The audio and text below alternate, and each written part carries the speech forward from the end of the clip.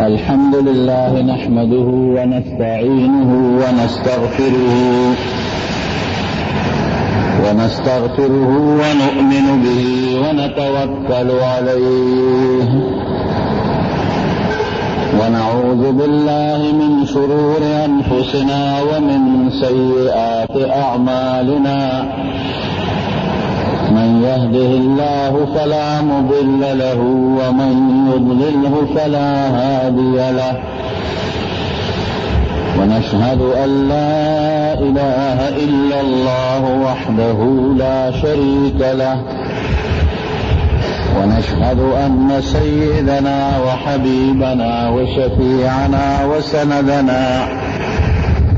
ورحمتنا ومولانا محمدا عبده ورسوله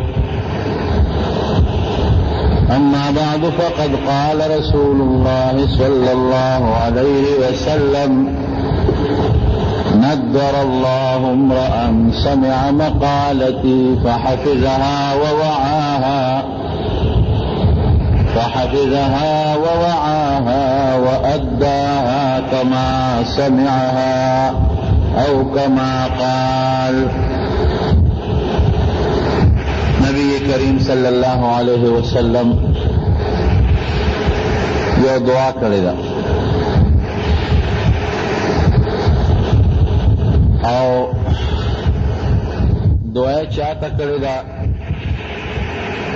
هغه چا ته دعا کړې ده چې کوم خلک د پیغمبر علیه السلام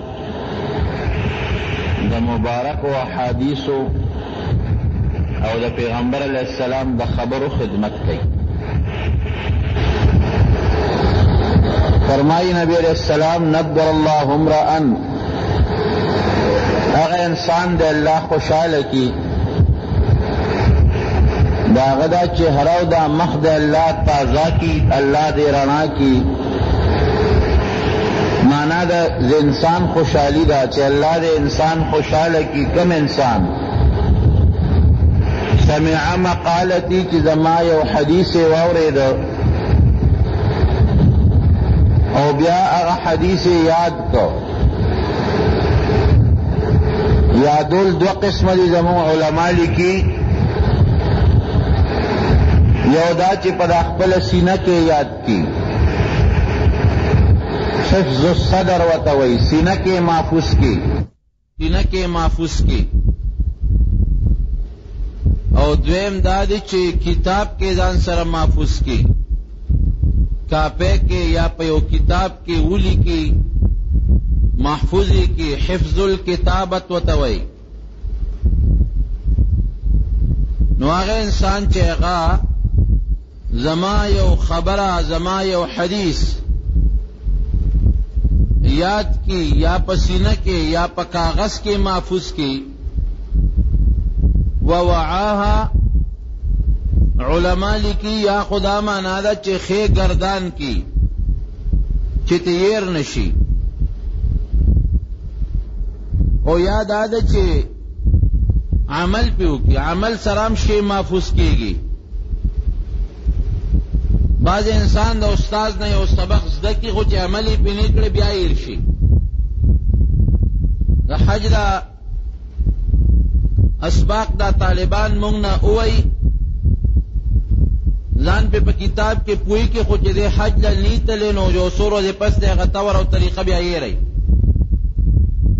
او که یو امین انسان یو هغه حج لاړ شي او عملی ته ورغه حج وکړي نو د حج هغه طریقه هغه ته یادوي عمل سره شی د انسان په دې زړه کې پوره محفوظ کیږي نو یا خدا دې چې دې دور کوي گردان کوي چې دا حدیث را ته یاد پاتې شي او یا عمل ور باندې وکړي نو عمل سره هم شیخ محفوظ شي او بیا ور پسې راځي چې واداها کما سمعها سنکه د خپل استاد نه د نبی علیہ السلام نه بیا د هغې نه پس د هغه خپل استاد نه بیا د خپل استاد نه واورېده او په هغه طریقه باندې نورو شاګردانو ته ورساو چې په کومه طریقه اورېدلي نو ګوره یو د احادیث یادول او محفوظ کول یا په عمل کول او بیا بل ته په دغه طریقه رسول چې په کومه طریقه د زده کړي دي نو دې انسان ته نبی کریم صلی الله علیه وسلم دعاګانې کوي چې ندر الله امرا الله دغه سړی چې دا کم صفاتونه ما ذکر کړل نو یا الله دا انسان خوشاله کې دعا ورته کوي او دا ولی ځکه ورته دعا کوي چې دی د پیغمبر علیه السلام د احادیثو خدمت کوي د نبی علیه السلام د خبرو خدمت کوي یادې یې بل ته رسوي او د پیغمبر علیه السلام خبرې د الله خبرې دي وما ینطق عن الهوا ان هو الا وحی یوحا پیغمبر علیه السلام د ځان خبرې نه کوي تشریعي امور شرعي امور چې د کم تعلق د ثواب او د عذاب سره دی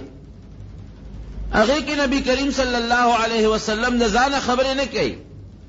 الله چې ورته سوی راغې خبره کوي نو د پیغمبر علیه السلام احادیث واحده دو قسمه وحی زمونږ د طالبانو یو ته جلی وي بل ته خفي وي قرآن هم د الله وحده او حدیث هم د نبی کریم صلی الله علیه وسلم دا هم د الله را طرف نه وحده نو گویا کې په حقیقت کې د وحی خدمت شده د پیغمبر علیه السلام د خبرو خدمت دا په حقیقت کې د رب العالمین د وحی خدمت شو نو ځکه پیغمبر علیه السلام دعا ورته کوي بیا کوم خلکو چې دا خدمت په خپل ذمہ غشته دي رونو او چانه چې زم الله دا خدمت غشته دي دا څه به وایو هغه خلق په دې امت کې بهترین مخلوق تیر شوی دی د صحابه کرامو په زمانه کې دا خدمت چا کړی حضرت عائشه صدیقه رضی الله عنها کړی لوی محدثه وا د پیغمبر علی السلام د حدیثو هغه د حق ادا کړی دی چې سیوري دلی دی د پیغمبر علی السلام نه د کورنو چارو چې څومره حدیث دی ټول امت ته رسول دی او غټو غټو صحابه کرامو با عائشه صدیقه رضی الله عنها ته مسائل کې رجوع کوله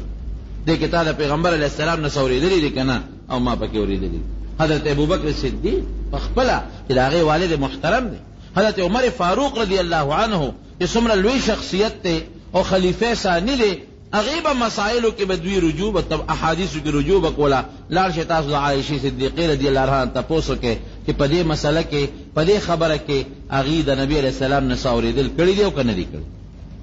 حضرت ابو هريره رضی الله عنه حضرت ابو بکر صدیق رضی الله عنه حضرت عمر فاروق رضی الله عنه حضرت عثمان رضی الله عنه حضرت علی رضی الله عنه حضرت انس رضی الله عنه دا صحابه کرام چې دا پاک نفوسو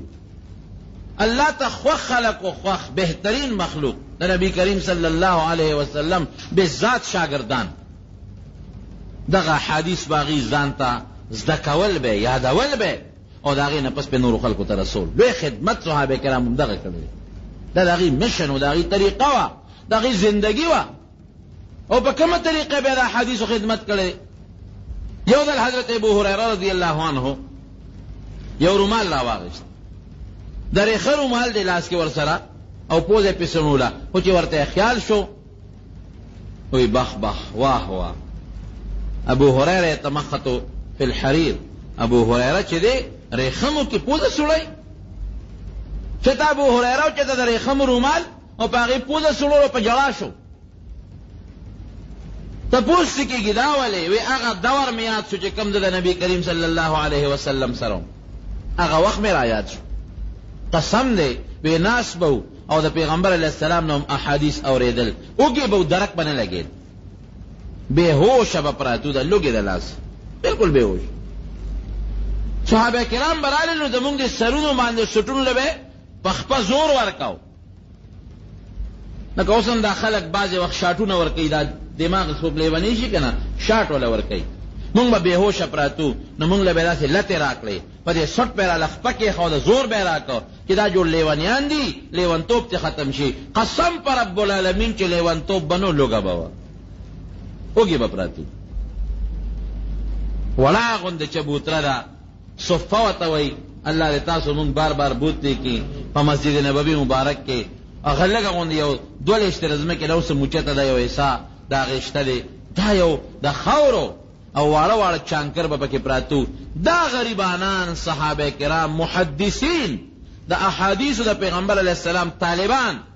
دا به په هغه چبوتره باندې ناست وو او د نبي کریم صلی الله علیه وسلم نه به یې اورېدل کول او به یې یادول او څه به دغه به یې خوراک و او چې کوم د چا به باغ و انصاري هغه به لاړ د خپل باغ نه به یې یو غونچک راوشوکاو او په هغې کې به رچت کې به یې ویزان کړو نو دې به چوکه راواخېسته چې وږي به شو هغې له یو ټس ورکړو د هغې نه به چېرته یو دانه دوه دانې کجورې را پرېوتې، هغه به یې خوله کې واچولې، په هغې به یې خپله ګزاره کوله. یو صحابي وایي که نه، وایي ما له یو ځل نبي علیه السلام درې کجورې راکړې، درې کجورې، وایي یو پکې خرابه وه او دوه ټیک وې، وایي چې کومه خرابه وه مې ډېره زیاته خوښه وه،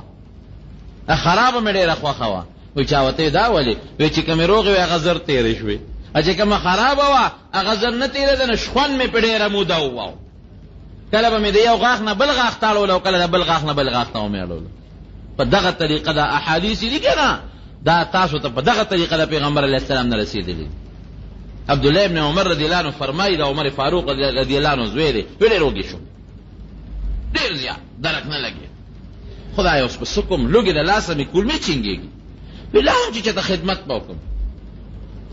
یو باغ دی د یو یهودي وی باغ کې داسې په دیوال کې چون دیو د باغ نه دیوال ته و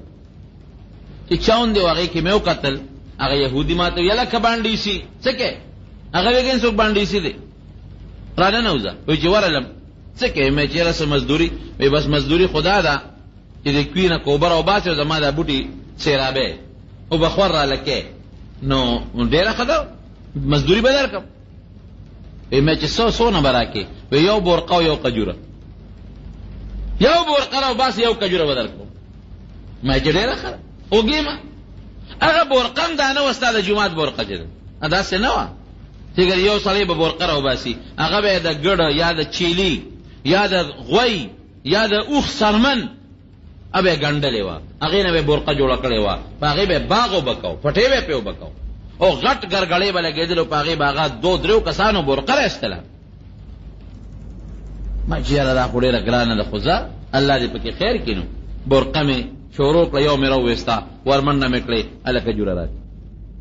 بله مې راوویسته، ورمنډه مې کړې، هله کجوره راکړه. بله مې راوویسته، چې یو څلور پنځه شپږ هر څو چې مختصر یو څو کجورې مې وګټلې برقه مې وغورځوله منډه مې کړه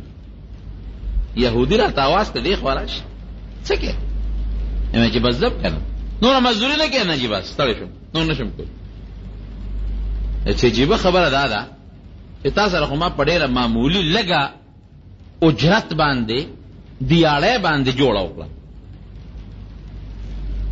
نو تاړو مانه تپوسم بیا ونه که چې صاحب ما خو د ټول پټې په لاس ورقو بکه او زما خو دا شپږو کجورې نه کېږي ډېرې مې کېږي او لاړې په منډه روان شوې او خلک خو کجورې چې کله مزدوري خلاصه کړي نو مازیګر کې یا کله چې کار خلاص کړي نو بیا خپله مزدوري غواړي نو تا به برقه راستله او کجوره به دې غوښتله او بس چې د بوسو برقې راویستې نو منډه یې کړې دا ولې وی ما ورته وی چې زما غرض په دې کې نه دی چې کجورې وګټم او یا پیسې وګټم زما مقصد هلته د پیغمبر علیه السلام مبارک احادیث اورېدل دي دې وخت کې نبی علیه السلام کور ته ننوت او زه ډېر زیات وږی شوم هسې لږه خېټه به مړه کړم بس خېټه مې مړه شوه که نه نور څه تا سره به حساب کتاب او جوړې جاړې کوم او منډه مې ځکه وواله ورځم هسې نه پیغمبر علیه السلام روتي او چې څه حدیث یې ویلي او ما نه اورېدلې ورځم چې لا نه روتي او یا روتي چې څه حدیث واورم او زه یاد کړم په دې طریقه باندې صحابه کرامو د نبی کریم صلی الله علیه وسلم نه به احادیث اوریدل مبارک به یادول ګردانول به د شپې به یادول دې د پاره چې دا د پیغمبر علی السلام دا خبره دا رنګ دا قران دا موږ زده کو او دا بیا موږ خپل امت ته ورسو مقصد دقه او د پیغمبر علی السلام بعثت معلما ډېره زه لېږلی شوی یم چې تاسو ته تعلیم درکړم تاسو ته د الله کتاب قرآن وښیم وحی جلي درته وښیم تاسو ته زه هغه احادیث چې کوم زما په زړه کې الله واچوي کوم چې جبریل علیه السلام راوړي او پیغمبر علیه السلام ته تلاوت کوي خو قرآن شو کوم چې نبی علیه السلام ته الله په دا زړه کې ور واچوي هغه وحی هغه حدیث دا د دې تعلیم دی خلکو له ورکړ دا مونږ چې کم نن اعمال کوو مونږ کې روزه نیسې زکات ورکې حج کې دا روا دی دا ناروا دی دا مکروه دی دا حرام دی دا مباح دی دا فرض دی دا واجب دی دا کار کوا دا مکوا دا په دې طریقه کوا دا په هغه طریقه کوا دا ټول چې مونږ ته دا کم مسائل را رسېدلي دي دا هماغه حدیث او قرآن نه وتی دي که نو مغه شی دی کنه چې صحابه کرامو زده کړی دي که دا محنت صحابه کرامو نه وکړي او دا نه زده کړي تو وایا د پیغمبر علی السلام د وفات نه پس دین به مونږ ته په کومه طریقه را رسید دا قران او سنت دین دی کنه یا هغه مسائل چې کوم د قران نه راوتی دي هغه مسائل چې کوم د احادیث مبارکو نه راوتی دی دین دی کنه هغه فقه ده کنه هغه شری مسائل دی هغه مونږ ته هم د دغه پاکو حضراتو په ذریعه باندې را رسېدلي دي صحابه کرامو ټولو دا خدمت کړی دی یو یو حدیث چې چاته یاد دی هغه کوشش کړی دی چې هغه بل بل ته ورسوي او بیا د صحابو نه پس تابعین خیر القرون بهترین پیړۍ ده تابعینو دا خدمت کړی لوی لوی فقها لوی لوی مجتهدین لوی لوی محدثین حضرت امام مالک رحمت الله علیه شو داسې نور محدثین شو او تبع تابعین تابعین او تبع تابعین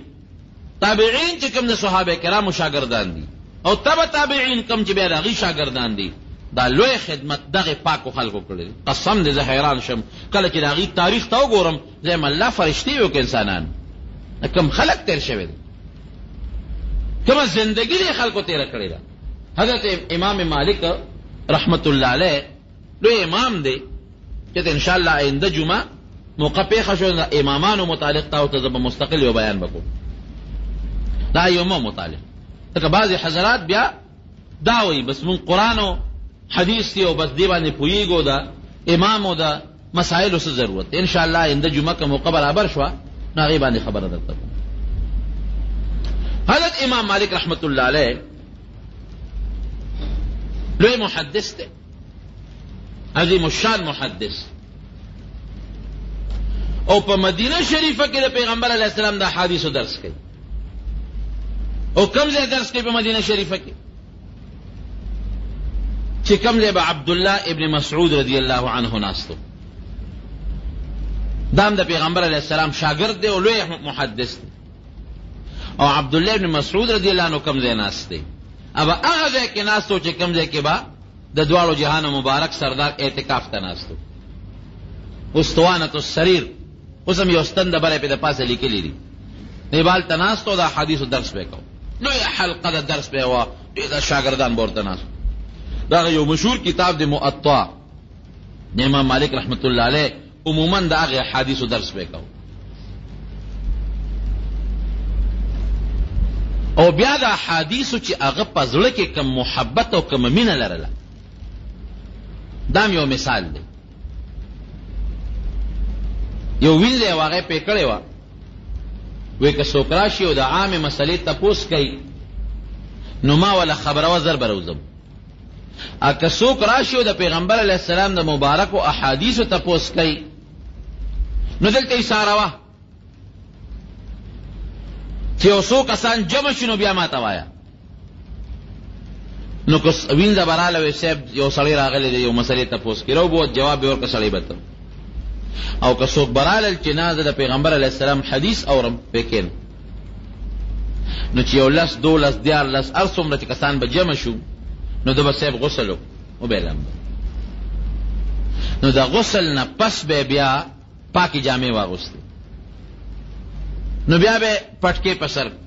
خوشبو به پورې کړه کونټه به لاس کې راواغشتا رو بوت او دا غي حدیث واغ درس به کو نو یو شاګرد ته تپوس کې وی سیب چې دا عامه مسلې څوک تپوس در نه کوي نو دومره تکلفات نه کې زر روزو جواب وله ورکي او چه ده پیغمبر علیه السلام ده احادیثو څوک تپوس کوي نو لامبیم او جامیم پاکې اچې او خوشبویم پورې کې او پټکیم په سر کې او ځان صفا سوتره کې وروزي دا ولې وی مالا چې د نبی علیہ السلام د حدیثو درس کوم کنه او ما وته غسل نه کړي او پاکي جامې مې نه غوستې خوشبوې مې نه پورې کړي پټکې مې خپل نه والي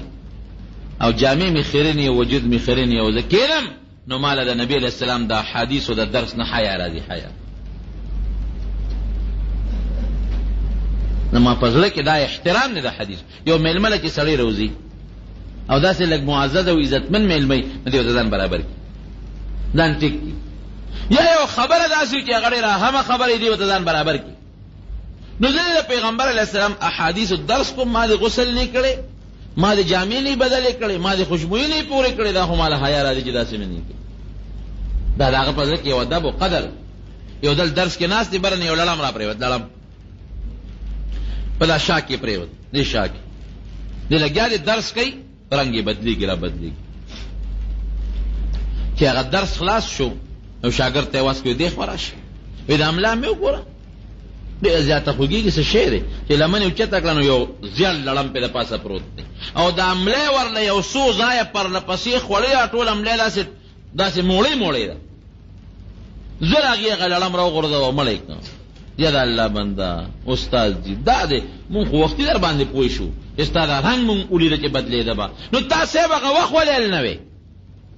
په هغه وخت به دې الویلو مونږ لړم به مړ کړه خو ستا د حمله خدای چې څوک ذکرته چې چلې ده دا خو یو ټکی در کړو زر به مو وجلو ته دومره صبر ولې وکړ پاسات ته ولې ونه وې وې د نبی علیه السلام یو حدیث مې شروع کړو نو ما له حیا راتله چې په دا مینس کې مې هغه بنده او تاسو ته مې اواز کو چې راشه زما د شان لړم مړ کې حیا راتله دومره قدر دومره عزت دومره د هغه په لړ کې محبت نن موږ سره محبت دی اسم نشته نن زموږ مینه کدا محبت ته ټي وي سره دی ټیپ ریکارډ سره دی وی سی آر سره دی د دنیا دولت سره دی کور سره دی بلډنګ سره دی ګاډي سره دی چرته به مونږ دا تپوس نه کړي ګنیزه تاسو ټول دلته موجود نه اسه یره جی استاد جی راغلی چرته د پیغمبر علی السلام یو حدیث درس خو راته وکړه نه به ویل ویل کنه چې ته به څوک راغلی استاد ته به ویل بلکې اکثر د تبلیغي رونه چې وي هغه کینی او دغه نه پس دا منځنه پس هغه وي هغه هغه دغه لوري تبلیغي نصاب عموما ټول حدیث دي کنه یو په صادر په وګوا چې زما کار دی بل په وګا صادر وا چې زما کار دی بل په وګا صادر وا چې زمام جی کار دی الله اکبر د پیغمبر حدیث اوریدل کار نه دی او د دنیا غ خبره کار دی د اوسګار دی وای د اوسګار دی خنه ته والته شړې آباد کې او چې تعال تبارز ته وسکه او دکان کې کپ لګیږي غیبت پکې پر دیګا نور څه دي زمون یا به پردی غیبت کې یا به دکان کې داسې ګپ شپ لګې او یا به د دنیا کاروبار کې نو ټیک د دنیا کاروبار هم په کار ضروری دی خو دا هم د پیغمبر حدیث بیانې کړي اصل رښتیا وایي مونږ داسې کوو کنه کوو ټول هم دغه یو کس به چرته داسې نی راغلی چې هغه دې ناست استاد ته د جماعت امام ته عالم ته ناست او دا ورته وایي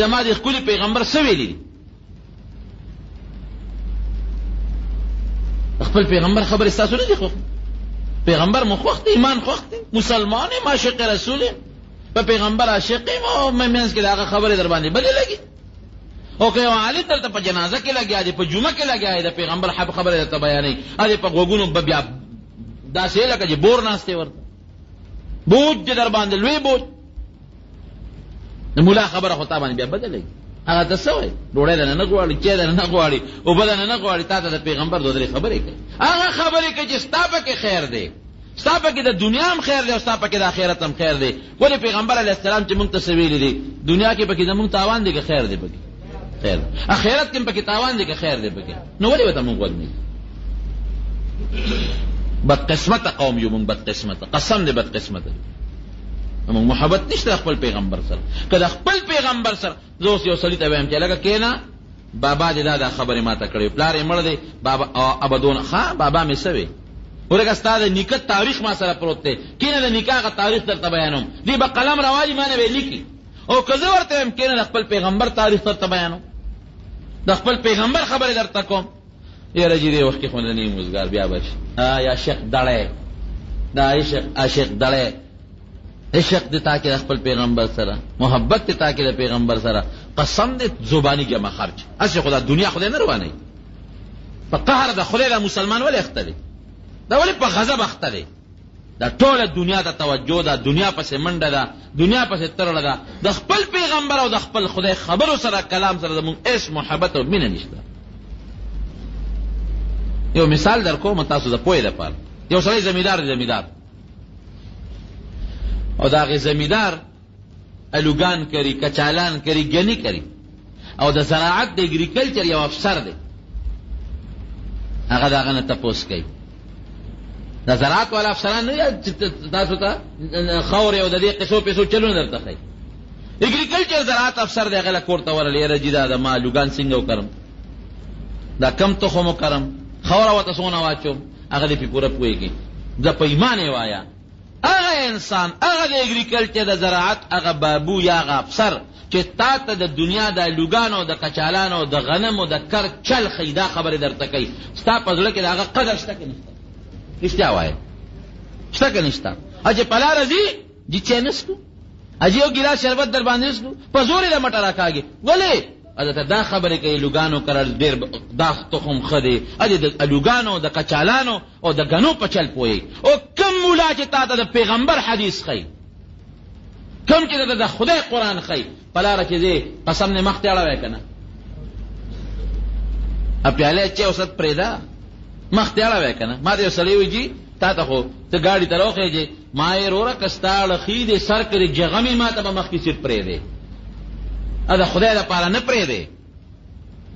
د الله لپاره پرېږدي او غریب طالب چې وخېږي ته هغه ته ځای پرېږده الله لپاره پرې ډوډۍ ورکې یو غریب طالب دی او مسافر هغه ته له کولا وکړه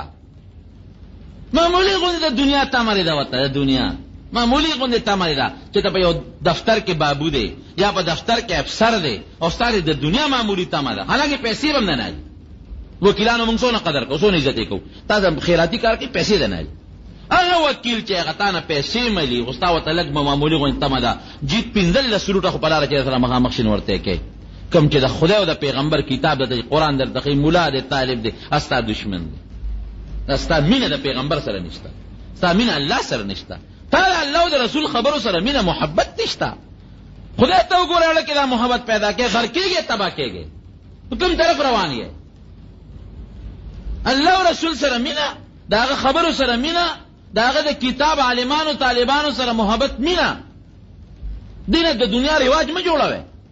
نه خدای الله لپاره خبرې رواجی خبره ته مه جوړوي نو امام مالک رحمت الله علیه کې دا یو فلسفه وا دا محبت او پکې دا مینه وا اوس ګوره مینه ته ناس ته په خپل جمعات کې د پیغمبر الحمد حدیث درس کوي او طالبان ورته دنیا ناس یو سړی راغی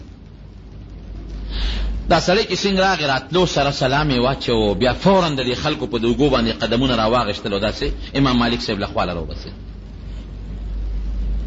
او امام مالک صاحب دوی راپاسه جي اوس لګیا دی درس حدیث ته پیسو چې پیسو یې راته غاړو اوس درغاړم وی صاحب لږ اجازه تو کړه تندې وې ښکلوم وې ښکل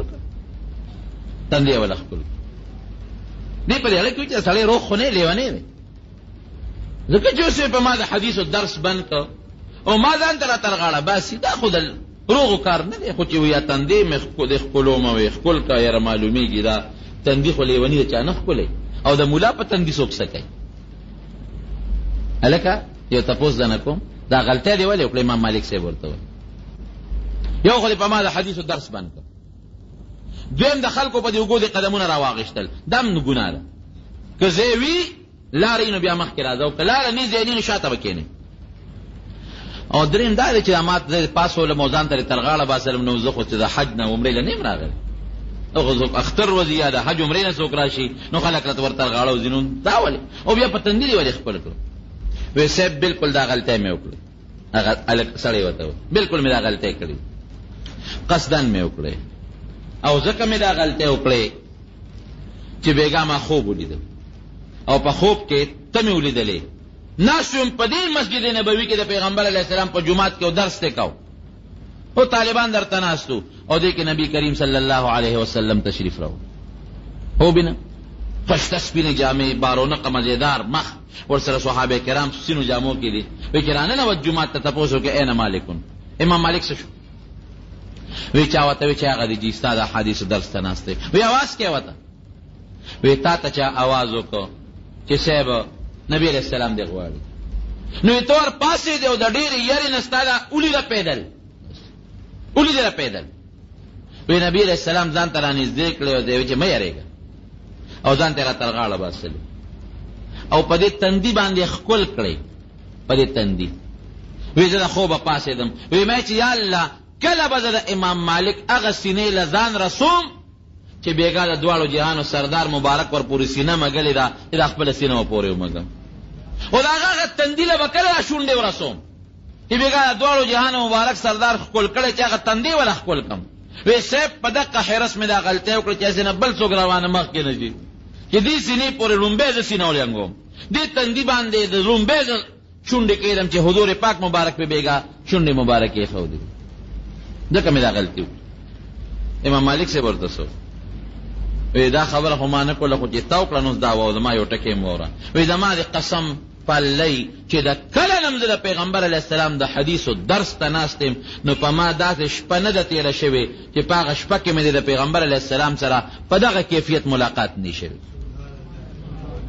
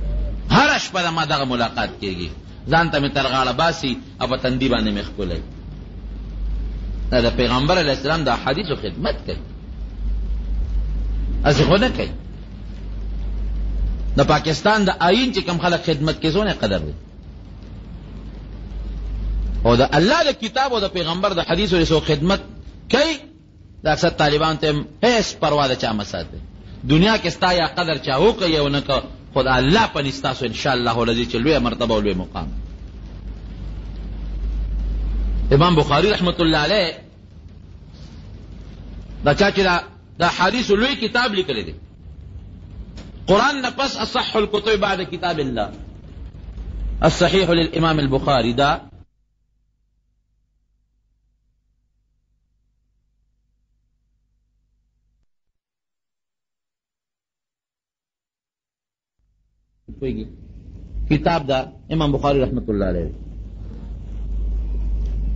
د څومره همت او مشقت کړی دی د چې دا احادیث جمع کړل که نه نو بیا د په سپین کاغذ جدا ترتیب ورکاو نو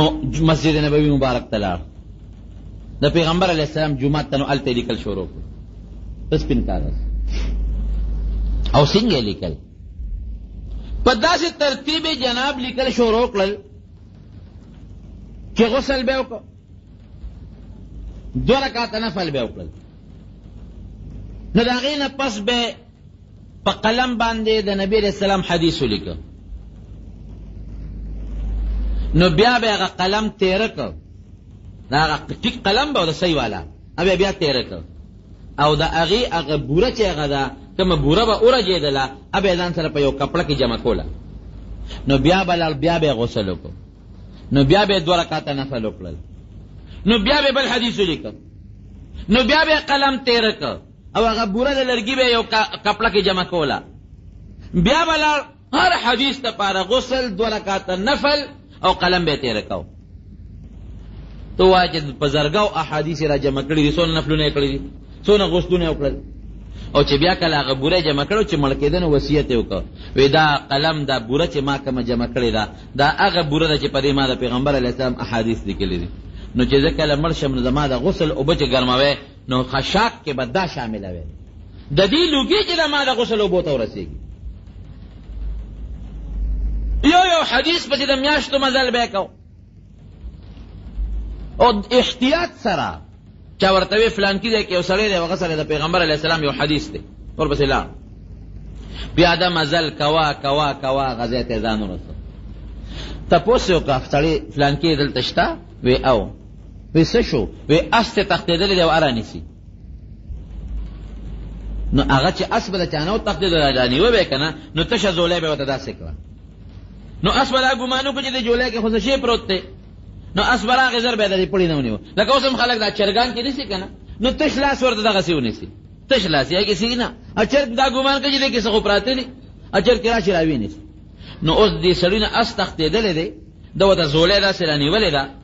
هغه اس را روان دی زولی له خو چې رانږدې شو کلک یې ونیوه زولی ښکته وغورځولو امام بخاري ورته وایي ستا فلان کې نوم دی وی او وی دې زولی کې دې سو وی اسم پکې نو وی دا سره راغونډه کړې وه وی دا دې اس دپاره مې راغونډه کړې وه چې دا اس پې دوکه کمه او راونیسم وی ښه جي سلام علیکم روان شو ته وی څوک یې سره راغلی وې زه خو چې ما یو مقصد هغې ته راغلی وم ما اورېدلي چې تا سره د پیغمبر سم یو حدیث دی رالم چې هغه به درنه زده کړم وې ما سره شته که نه ودرېږه چې درته یې وښیم وې نه نه نه نه بس تا نه حدیث نه زده کوم تا اس سره دوکه وکړه څه پته لګي که ما سره د پیغمبر سم په حدیثو کې چې دوکه ونه کړي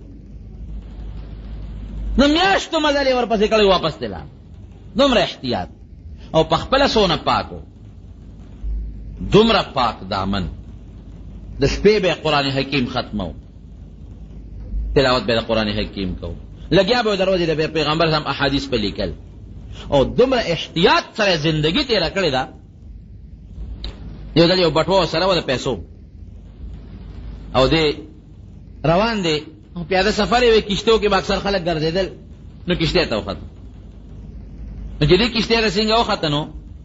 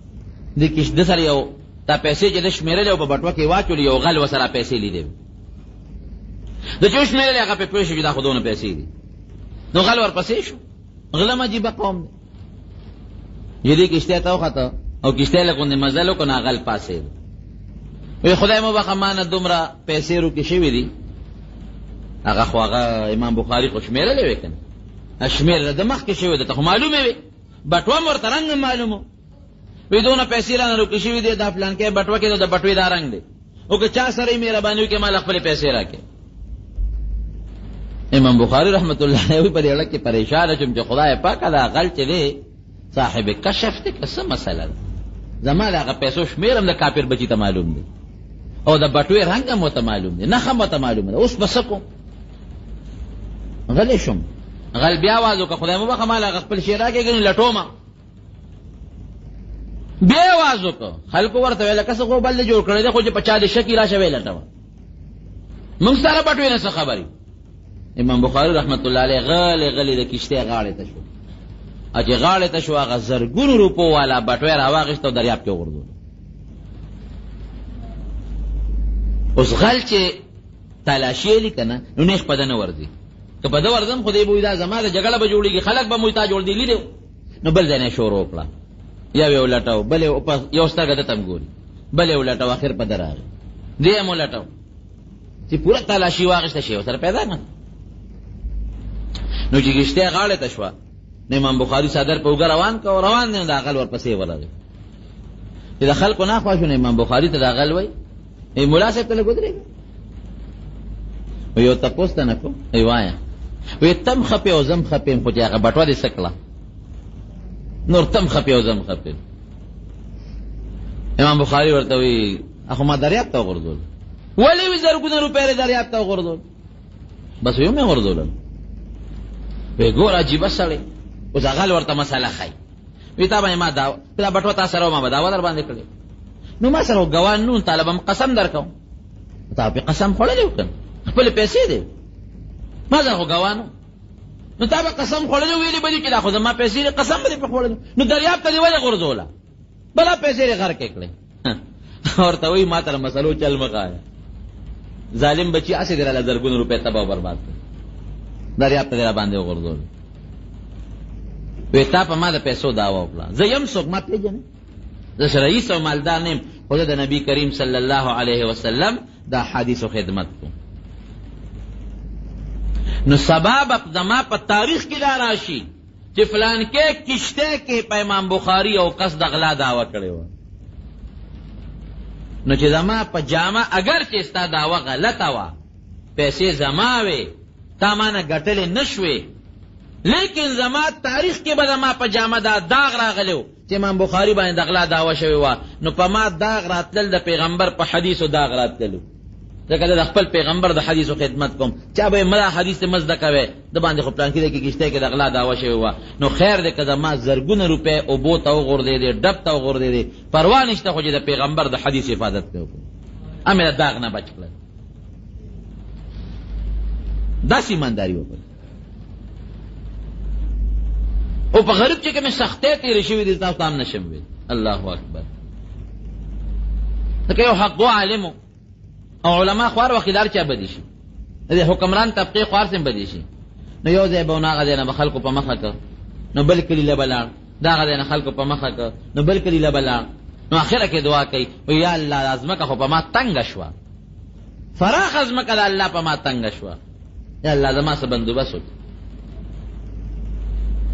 بیا یو ځای هغې کې غریب وفات شو ازبکستان کې اوس یې ملته قبر دی او چې کله وفات کېږي هلته یو عالم خوب ولیده یې خوب وینم چې نبی کریم صلی الله علیه وسلم مې ولید ورسره بلا ملګري دي ما تپوس وکړ چې صاحب څه کوې وی د امام بخاري استقبال له راغلي فورا مې خوب نه بیدار شو مې چې څه چل خو دی وی چې منډه مې کړه امام بخاري کلي ته مې ځان ورساو د جړا آواز مې واورېد څه چلو شو یې اوس لږ ساعت مخکې امام بخاري وفات شو او قسم د قبر نه خوشبویې بیت دی داسې لکه د مشکو د عنبرو خوشبو دا تاریخي خبرې دي ښکاره خبرې قبر نه خوشبو دا اوس زمونږ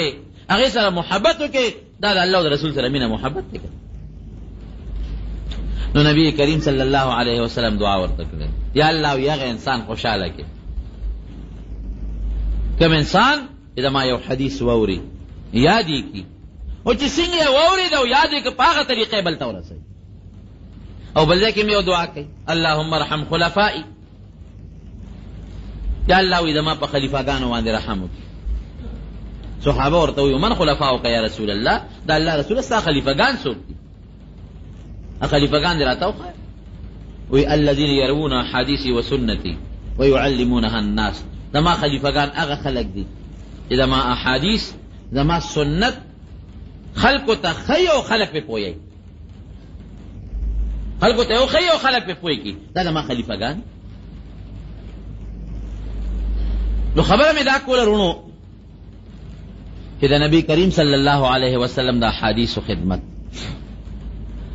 دا یو بنیادي څیز دی ما وی دین دی دین احادیث دین دی قرآن کې څنګه دین دی حدیث هغه څه دین دی او هغه چې څوک چاته رسي او د هغې څوک خدمت کوي دا د رب العالمین پنیز د الله پنیز د پیغمبر پنیز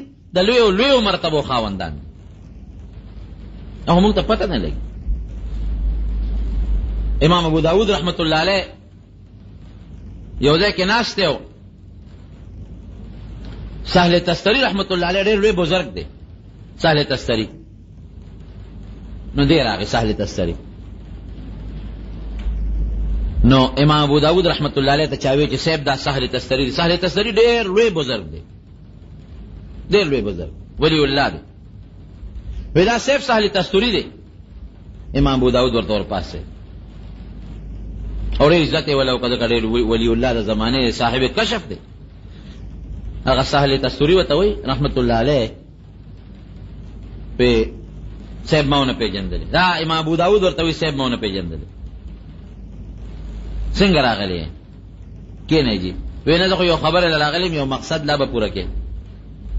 وې کدا ما په وس کې بالکل بدل ته پوره کوم وینه ستا په وس کې ستا وس کې او ما ته وای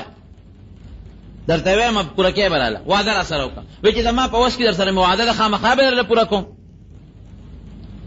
نه امام ابو داود به د حدیثو درس کو د پیغمبر علیه السلام حدیث په لوستل دا ساله تسری ورته وای وې د ماغه حاجت ستا په وس کې دی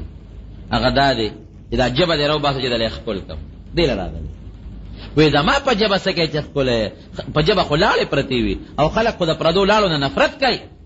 زما په جبه سکه چې تخکله وې ته په دې جبه د پیغمبر حدیث لولې دا غي درس پکې قال رسول الله صلی الله علیه وسلم کذا نو چې په کومه جبه ته د خپل پیغمبر حدیث لولې نو زما دا شوق ته چې دا جبه د یو پټه خپل دا رو په ځای خپل او قدر زر زر ګر شناست قدر جوهر جوهر د زر قدر زرګر سره د لال جواهر قدر جوهري سره یې عباسیان باز تښتېدلی او باز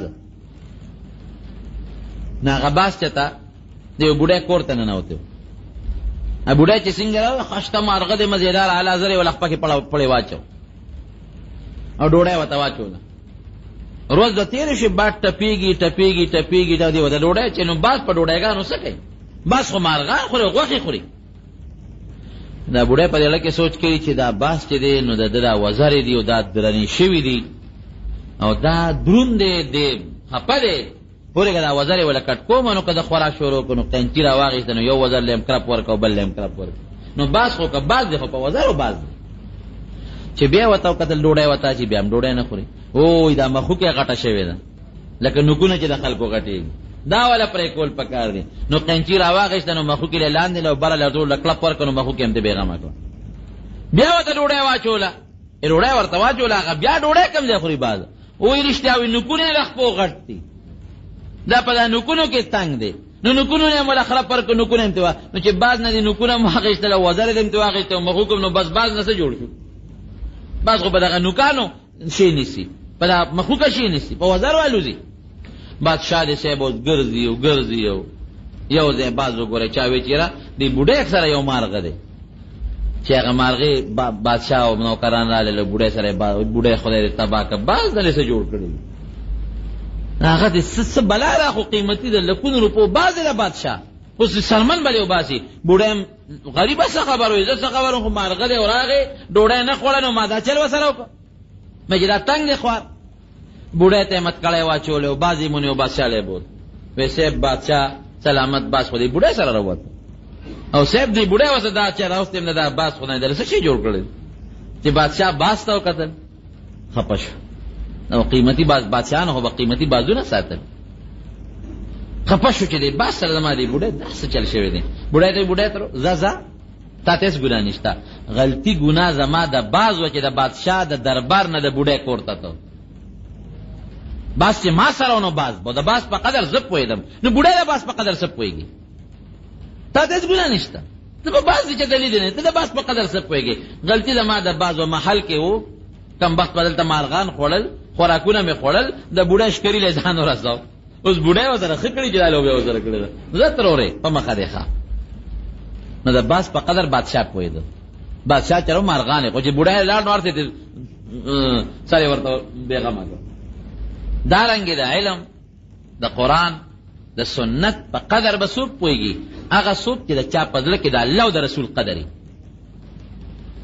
زما د خبرو قدر به هغه سړی کوي چې زما زه یې خوښ یم زه یې نه خوښ زما په خبرو څوک څه کوي متیاد یې پرې نه کوي زه چې ستا خبرې سره به مې هله قدر چې ته مې خوښ نو که الله سره دې مینه د الله کلام به دې خوښي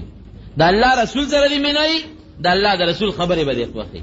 او هغه خلک به دې بیا خوښي څوک چې د الله د رسول د کتاب او د هغه د خبرو خدمت کوي چې هغې ته طالب او مولا وي دې زمانه کې نو د پیغمبر د خبرو سره مینه وکړي مه تنګېږئ په قرآن کوم ځای کې چې د قرآن درس کېږي ټول ورته کښېنئ